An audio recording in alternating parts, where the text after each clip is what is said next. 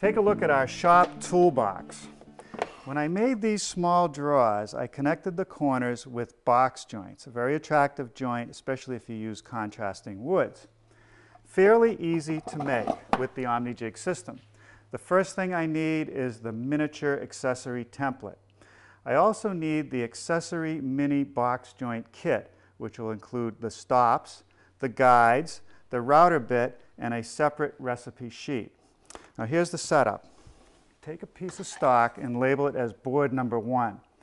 The outside of board number one goes against the jig, the side guide, and up against the fingers.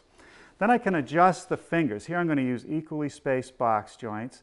I adjust the fingers and center them over the board. Next, I take another piece of stock of the same thickness, put it against the fingers, and draw a line. This will allow me to set the depth of the bit. I set the router on top of the fingers. Now when the bit is right even with the line, the depth is correct. Now I'm going to slide the fingers up against the stops, tighten it down, set the stabilizer bar back in place and I'm ready to do the first routing operation.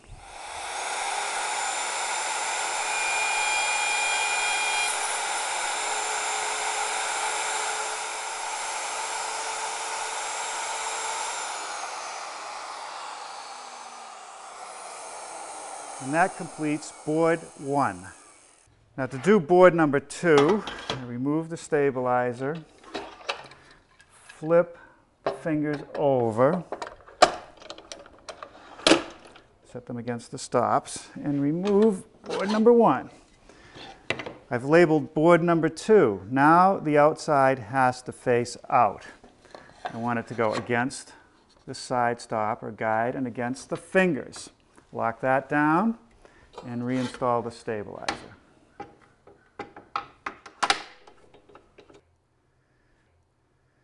Now the router has changed as well. Using the recipe card, I changed the guide. I'm using the same bit and I set the height the same way as I did earlier. Now I can route board number two.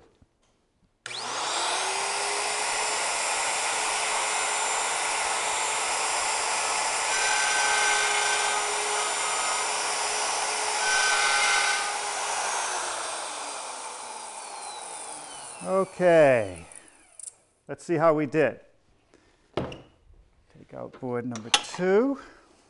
Here's board number one. Let's see how those fit together. That looks pretty good.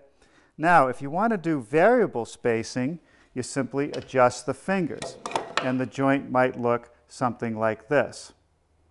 If you want to make full-size or large box joints, you can use the template that comes with the 24-inch OmniJig, as well as an accessory box joint kit.